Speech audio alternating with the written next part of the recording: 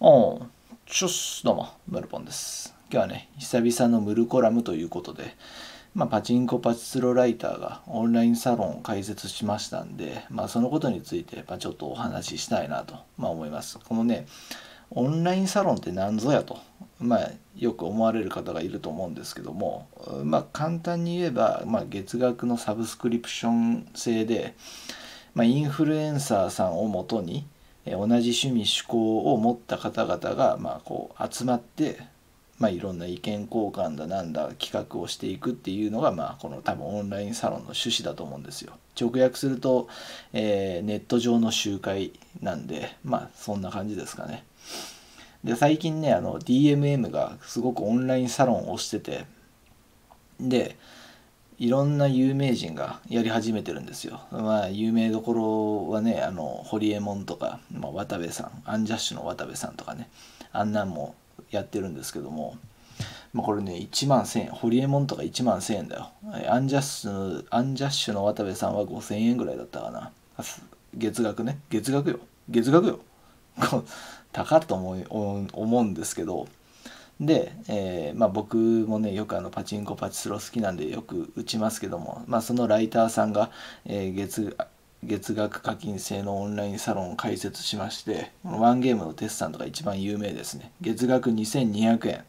で今の2月3日現在で2822人、えー入っております。でそうこうそういう話をしてるうちに、えー気づけば2837人に増えてるんですよ。まだまだボンボンボンボン増えてますこれ、えー月額2200円を払いたいという方がね、えーバンバン増えてるっていう感じで。で実際いくら入ってくるのかっていう話なんですけどもまあ2200円ワンゲームのテスさんで見たら2200円で、まあ、2800人だとしたらまあ DMM が20%のフィーを持っていくんですけど、まあ、それでも毎月約500万ぐらいの、収入があります。500円？500よ？500万よ？毎月500万の収入があるんですよ。って感じじゃないです。僕なんか月収で見たら手取りで18でさまあ年収で見たらよ300この前360やったかな。あの年末調整見たら370ぐらいあったかなまあ要するに可処分所得は220万ぐらいしかなくてさね1年間働いて220万ぐらいしか使う金がないのにワンゲームのテスさんはこのオンラインサロンを開設するだけで毎月500万の収入が入ってくるんですよ。これね僕前から言ってましたけどこのワンゲームのテスさん自体はあんま好きじゃないんですよ。ただこのワンゲームテツさんの中の人は素直にすごいなって正直思ってます。このテツっていうキャラクターはあんま好きじゃないんですけどね。あのツイッターとかねイキリツイート連発してるじゃないですか。もうそういうの好きじゃないんですよすごく。まあ僕はね嫌いっていうだけで、まあ、中には好きな人もいるから、まあ、こうやって2800人も集まるんでしょうけどただまあ中の人はすごいですねっていう感じなんですよ実際ねその何者でもないんですよ正直こういうのって何者でもない人がさも何者かであるかのように、えー振る舞って大衆を引きつけてまあすごいだとか才能があるって思わせるのがまあ仕事なんでこういう人たちってだからそのそういった意味で言えばこのワンゲームの哲さんの中の人はものすごい才能があるんですねそういうの。実際ねあのこのイキリツイート見るとさマジ朝礼誤解ツイート連発してて朝礼誤解っていうのは朝言もう朝言ったとこ言ったことがもう夕方にはね変わってるみたいなとにかくもうその一本筋が通ったことを言わないんですよ基本的に。あのボートイベントとか、えー来店イベントとかに関するこの人の考えのツイートとかねもうほんと2点3点してるんですけどそういったのをその自分の信者とか、えー支持者ファン層にその悟られないというか指摘されないように振る舞うのがすごくうまくてそういう空気作りもすごくうまいんですよ。実際、えーかなりね矛盾したこと言ってるんですけどその矛盾点にこう突っ込む人もやっぱいるんですよ。ねクソリプって言うんですけどそういうおめえ言ってることとやってることがちげえじゃねえかみたいな感じでこうクソリプをこのワンゲームのテスさんに飛ばしてくる人は当然いますよ。でそのいうツイートをこう晒し上げてふその指摘はすでに知ってたぜみたいな空気を出すのがすごくうまうまかったりそれとかもう本当に痛いとこ疲れてるんですけどなんかさももう予想してたかのように振る舞うのもうまいんですよ。ほうこのツイート求めてたよみたいなこのこの指摘をするやつは見どころがあるねみたいな感じで逆に褒めるみたいなその痛い指摘をされたことによって本当は痛いんですけどさも予想してたかのように、えー、振る舞ってさらにはその痛い指摘をした人を褒めるとかそういうのがすごくうまいんですよ。俺ほんとうまいなと思ってこの人のそういった空気作りとかなんかこうリカバリーというか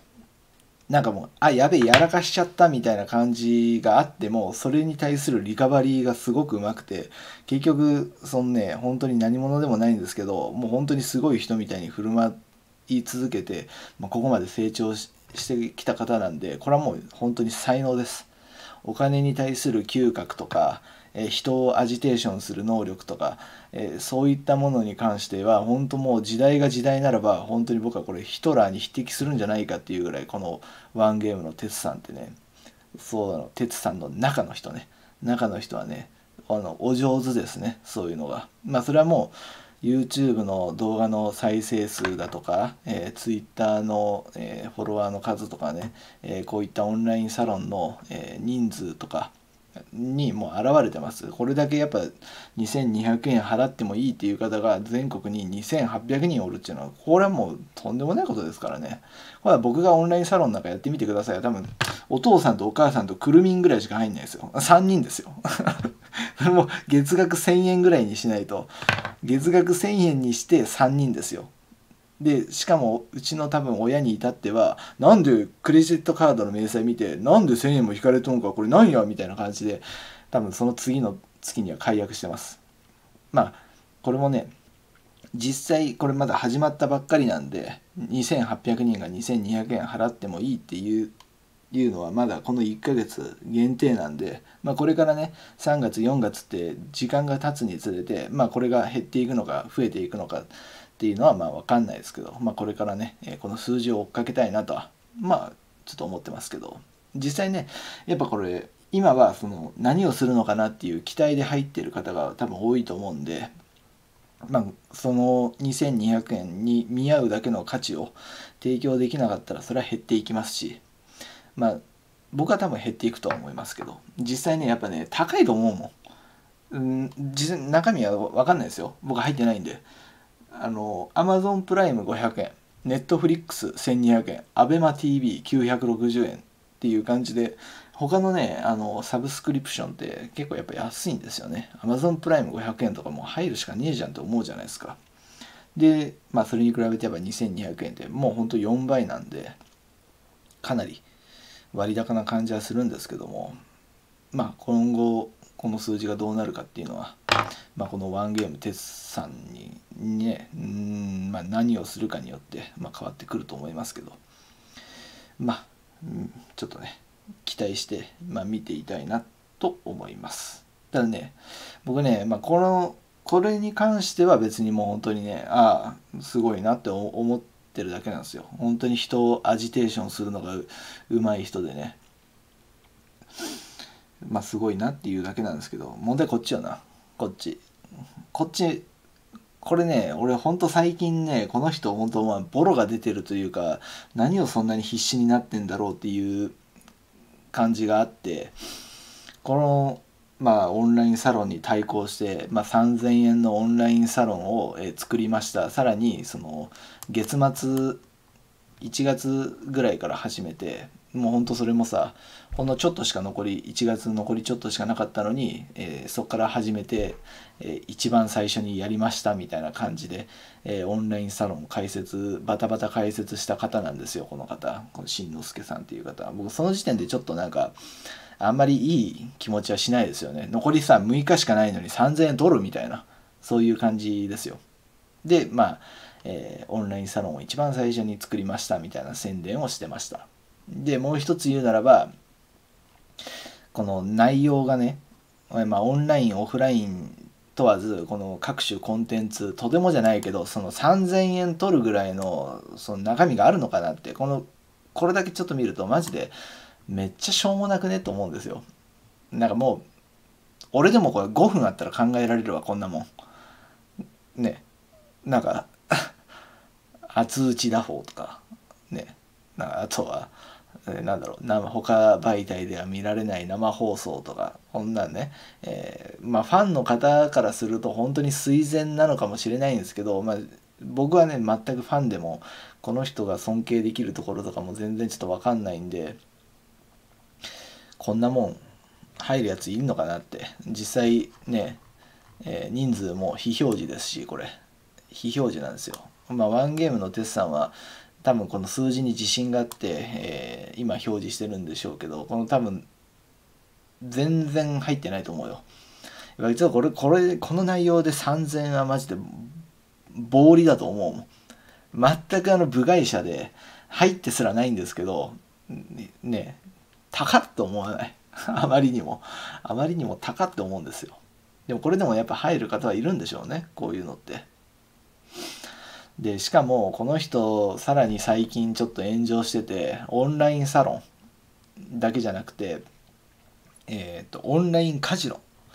オンラインカジノの、えー、宣伝やってたんですよ。僕僕ですらしないですよ。オンラインカジノの宣伝とか。僕はっきり言って主戦度なんですよ。マジめっちゃ金大好きだしまあそれはあのパチンコの動画見てもらったら分かると思うんですけど勝った時のテンションと負けた時のテンションって露骨に違うじゃないですか。僕は本当にねやめないといけないなと思うんですけどやっぱ財布の中に金入ってるとなんかウキウキしちゃうんですね。それぐらい僕銭ゲバなんですよ。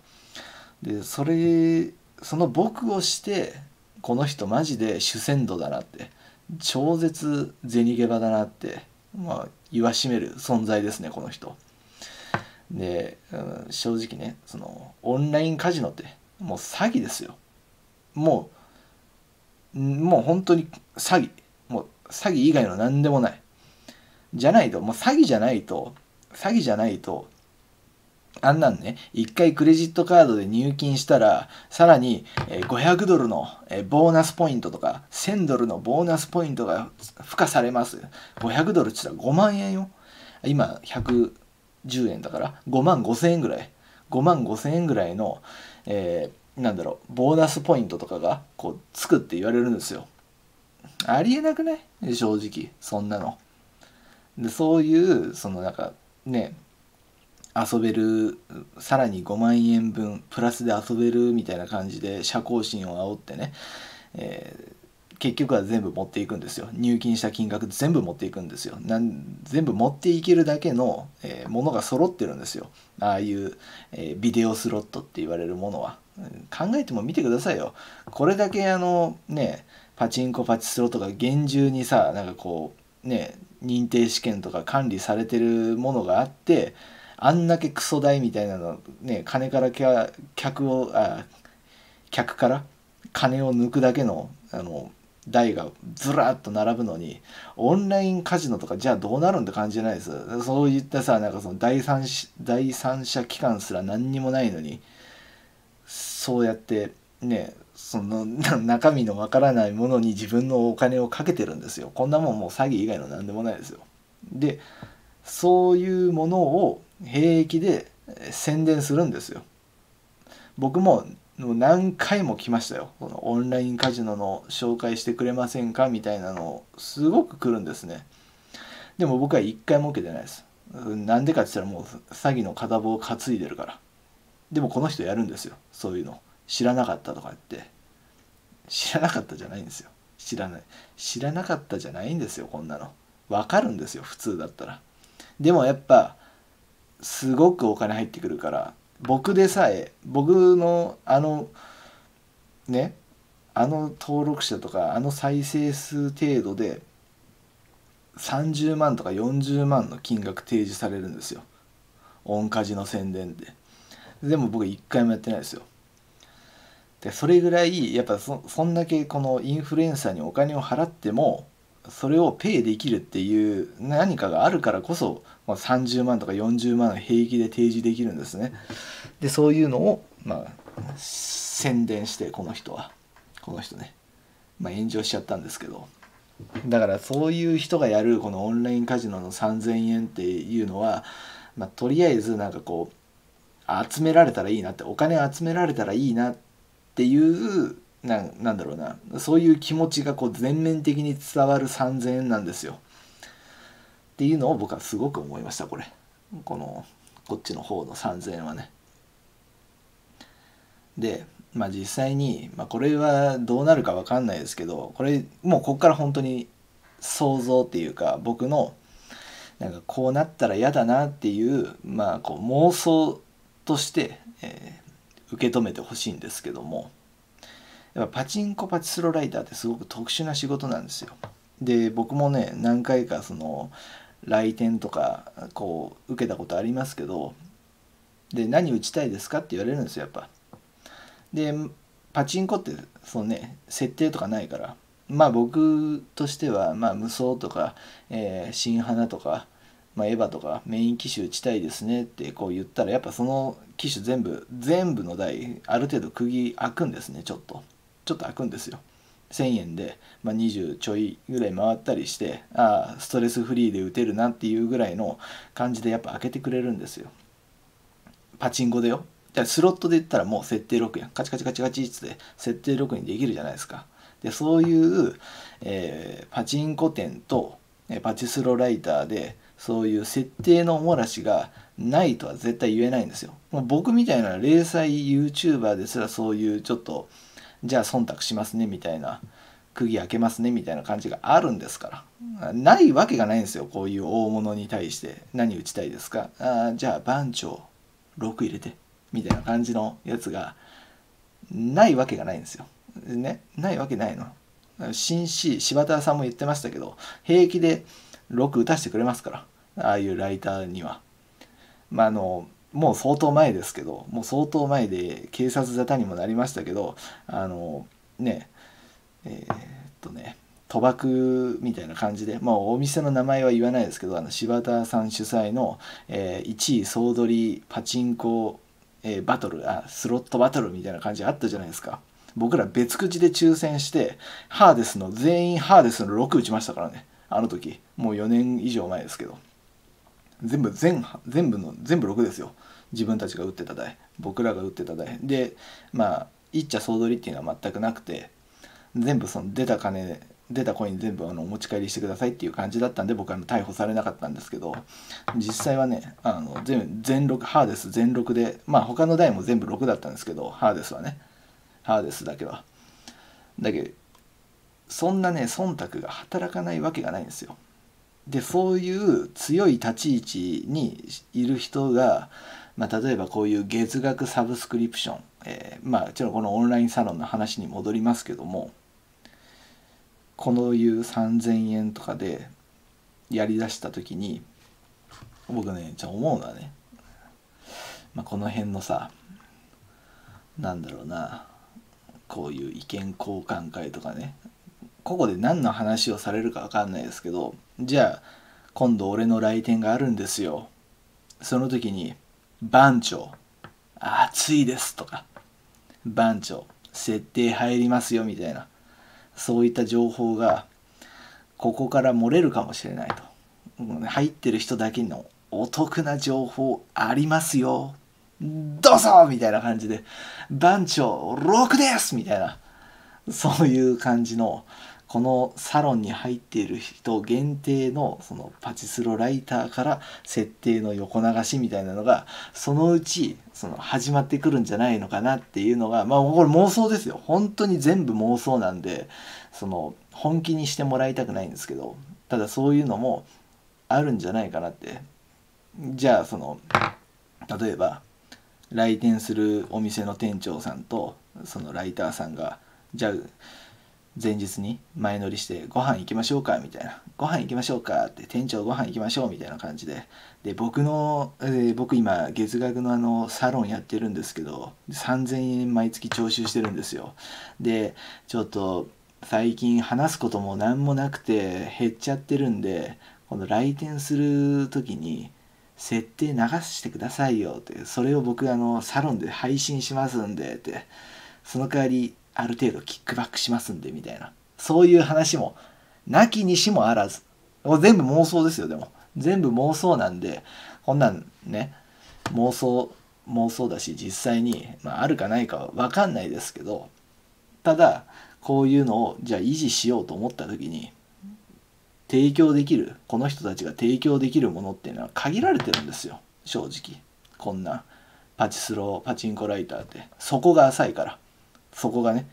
いやパチンコパチスロもはっきり言ってそこが浅いんですよ。ゲーム性としても。出るか出ないかじゃないですか正直。面白い面白くないっていうのはまあ二の次で結局出るか出るかじゃないですかね。出るか出ないかじゃないですか。パチンコとかパチスロとか。うわ俺毎月5万負けてるけどこの台は面白いみたいな。そんなない。ないよ。ないないないない。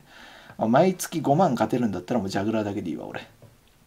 まあそれぐらい結局そこの浅いゲーム性のえものに、えこういうものでこういう人たちは飯を食ってますんでじゃあ最終的に行き着くところは何かって言ったらもう設定のおもらしとか、えー、このサロンに入ってる人たちだけのお得な情報ございますみたいな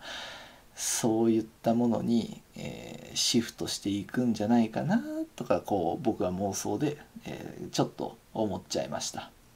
まあ、大体まあ正直ね正直よ。そのねオンラインカジノとか平気でね案件として紹介するような人間性の人だから、まあ、それそのもうねそういう前科、まあ、言ってしまえば前科ですから。そういうのはありますからそういうの平気でやっていくような人間性と捉えられてもそれはもう仕方ないですからね。正直。っていうところを僕はちょっと思いました。逆にそのまあこの下のねワンゲームのテスさんもそうですけど2800人って今すごい好調な数字ですけどこれがじゃあどんどんどんどんこうバーって減ってってよ。バーッと減ってった時にじゃあこれを維持しようってこう思った時にじゃあどうどうするのかって言った時に、うん、まあそういう方向に走る可能性もなきにしもあらずかなとも思いました。でもこれ全部僕の妄想なんで実際ねこっち下の方とかね、えー、まあ上の方もね、えー、いろいろ多分考えてますんで、まあ、そういったねこうなんか面白い企画とか、えー、そういったもので、ま、人を引きつけていくんだろうなとは思いますけどまあこれ全部僕の妄想なんで本気にしないでくださいね。っていうところかな。うん。だからまあそういう方向に走ったら嫌ですねっていう話ですよ。そういう方向にね、うん、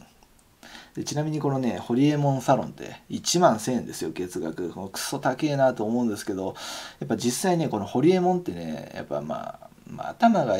まあ頭はすごくいいんでしょうしこうやってこうなんだろうバカな人に分かりやすく伝える能力っていうのはもう本当にめちゃめちゃ高くてこういうちょっと意識の高い人がこう1万1,000円払うと思うんですよ。で実際僕もそのホリエモンさんの YouTube のねペラペラしゃべる動画とかこう見てるんですけどやっぱ聞いてられるんですね全部。で僕が勤めてる、えー、仕事の業界の話とかもすごくあの詳細内密にこんなん普通勤めてないと分からんでみたいな感じの単語とかもポンポン飛び出してくるんですよこの人ホリエモンさんって。だからまあそういったつてもあるんだろうし実際この人が全部そのね喋る内容を考えてるとはまあちょっと考えられないなとも思うし逆にそういういろんな専門知識をこうね喋るない原稿を考えてくれる人がいるかもしれないしねこの人は。でまあそれだけね、まあ、ホリエモンさんっていうのはもうスポークマンですからこう表立ってこうホリエモンが喋ってるともうそれだけで説得力あるじゃないですか僕がこうなんかペラペラペラって喋ってもないんよこいつみたいな肝歌がこのナードがよみたいな感じになるんですけどやっぱホリエモンさんがこうペラペラって喋ったらああさすがホリエモンさんみたいな空気になるじゃないですか。だから、ね、やっぱね裏でねいろんな専門家とか、えー、有識者がこのねホリエモンさんにこう喋ってくださいみたいなこういう知識のねこう伝達が多分あると思うんですけどやっぱそれだけいろんな人を雇って、え、有益な情報を常に発信してるから、まあ、これだけ強気の値段でやっていけるのかなと、まあ、正直これはちょっと思いました。実際どうか分かんないですけど、まあ、正直僕はサロンに入るぐらいならまあネットフリックスでネットフリックスとかでね、えー、海外ドラマとか映画洋画とかをねこう見て「ああ面白い」っつって言ってた方が僕は性に合ってました。うん。っていう感じでね長くなっちゃいましたけどもまあ皆さんはね、えー、こういう最近のオンラインサロンについてどう思いますか？僕はね全然否定的じゃないんでまあこういうね、えー、新しい時代の令和の稼ぎ方っていうのはこう出てくるんだなとすごく思いましたね、まあ、皆さんもね、えー、何者かになれるように努力して、まあ、こういった成功者に、まあ、なれるように頑張ってください。お疲れ様でした。